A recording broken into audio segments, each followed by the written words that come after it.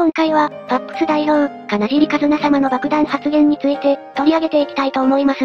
金尻和奈様のツイートから引用します。執行猶予がついてよかった。若年女性に対し、福祉がもっと早期に関われるような仕組みが、急務。あと、バイマルした側を犯罪にし、セイオール側を非犯罪化にしてほしいと、つくづく思います。はぁ、クソデカため息。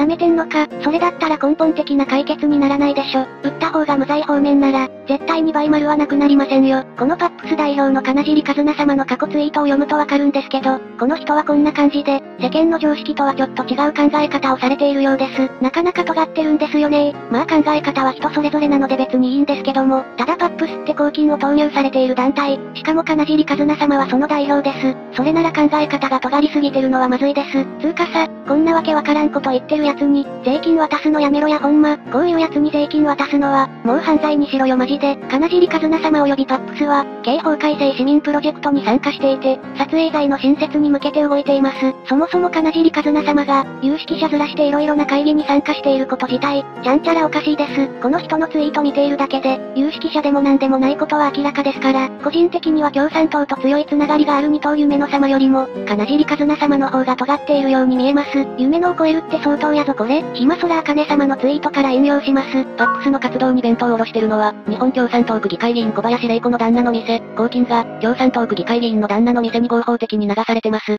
けて。また変なものを見つけてきたのか。もう十分堪能したよ。クラファンや募金のスキームにしてもそうですけど、本当に無駄がないように作られてますね。まるでチューチュートレインのような完璧な連帯。税金チューチュートレインとは言い得て妙です。税金チューチュースキーム作る才能を、もっと別のことに活かせよ。ボケが。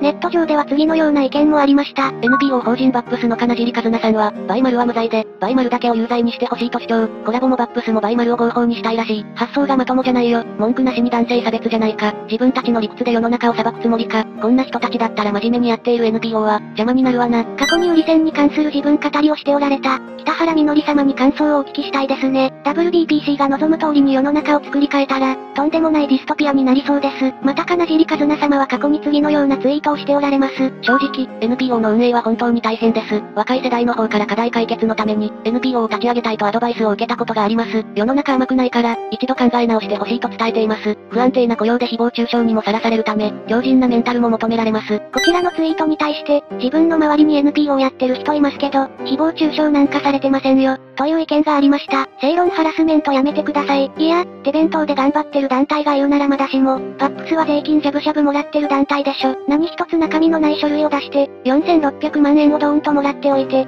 この言い草はないんじゃないでしょうか。そもそもなんでパップスのような団体が、異常なまでに優遇されているんでしょうか。散々優遇されといてこの発言は普通に胸くそ悪いです。今後どうなるか楽しみにしています。最後までご視聴ありがとうございました。